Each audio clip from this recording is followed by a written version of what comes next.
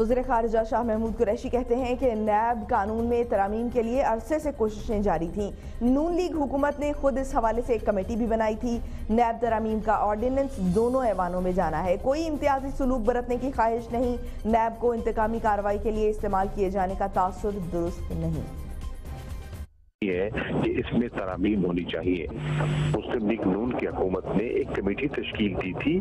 اسی آرڈیننس کی اصلاح کے لیے پیپلز پارٹی بھی موجود تھی اور مسلم لیگ کے لوگ بھی تھے۔ یہ جو آرڈیننس ہے، جب ایوانوں کے سامنے جائے گا تو ممبرز کی اس میں انپٹ آئے گی۔